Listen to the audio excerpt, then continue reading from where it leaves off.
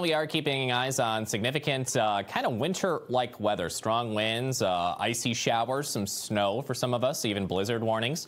So if you do have to travel, be safe, obviously, but be extra mindful on the roads as well. Friendly heads up, truck drivers, emergency responders, let them be safe on the roads as well. Be extra mindful and give them the distance on the road that they need. You know what I'm saying? We got blizzard warnings out there Thursday into Thursday night for areas of Wyoming heading into Nebraska surrounding winter storm warnings, watches, and winter weather advisories.